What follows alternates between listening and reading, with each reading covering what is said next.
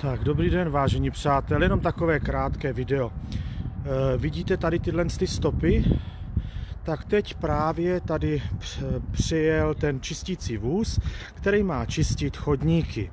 Dřív za toho hroznýho socana, komunistů, se to udělalo tak, že prostě přišli cedule, že jo, bát, zákaz parkování a vyčistilo se to.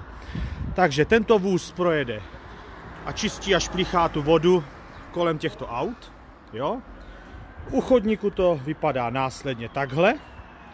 Pokračuje dál, jo, tady vidíte stopy, prostě, a takhle se hospodaří. Takhle se hospodaří, prosím pěkně, v městě Praha. Tohle to mají na starosti magistrátní úředníci. To jsou ty kompetentní osoby dneska. Ne, to jsou debilové. Vidíte to? To jsou prostě tady, jak jdu, tak ten vůz jede prostě. Co čistí? Co čistí? Takže co to platíme? Takže úplný nic. Jo, tady prostě klasika, bordel, to tady prostě zůstává. A zase, jo, tady máte chodník, prostě bordel, od, samozřejmě nedopalky a tak dále, ale on to pěkně takhle objede, jo, aby tady kolem aut to pěkně prostě zametl, kde není nic, není nic. A mezi auta se samozřejmě nemá šanci dostat. A takhle to prostě objíždí celou tu Prahu, akorát zbytečně zdržuje provoz, nic, nic neudělá, nic. Jenom vyhozený peníze. Tak na toto prachy jsou, tohle to dělají, to, to, za toto jsou odpovědní ti, odpovědní. Jo, ty, co jsou na magistrátech, ty úředníci, opravdu velice inteligentní a chytří lidé. Takhle se hospodaří v Praze.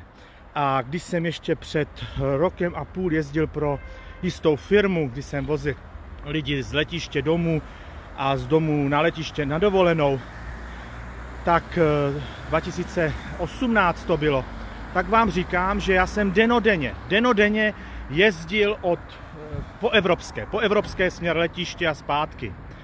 A tam denodenně, každý den, každý večer, aby to nebylo tolik na očích, tak každý večer, teď já si to otočím, každý večer, vážení přátelé, tam jezdil kropící vůz po té evropské, roz, prostě tu vodu úplně zbytečně kropil ty silnice a to prosím pěkně od března až do listopadu, než začalo mrznout. K ničemu, naprosto k ničemu. V Praze jsou daleko horší oblasti, kde je bordel a kde se s tím vůbec nic nedělá. Ale tady tohle podívejte se, na co jsou peníze? Na přejmenovávání náměstí, na takovýhle nesmysly, kdy prostě oni to nevyčistí. Jenom prostě vyhodíte prachy za to, že se projede ten borec tom kukavoze, tom čistícím a udělá jakože práci. To je neuvěřitelné. Tak to je jenom takový obrázek z toho hlavního města Prahy, kde sídlí ty pruce inteligentní piráti na magistrátu města Prahy.